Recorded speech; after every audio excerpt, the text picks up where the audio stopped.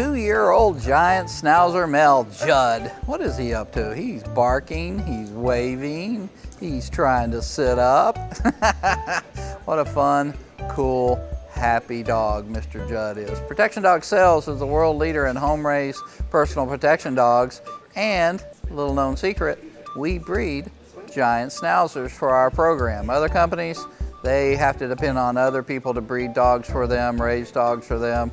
We have everything under control in-house.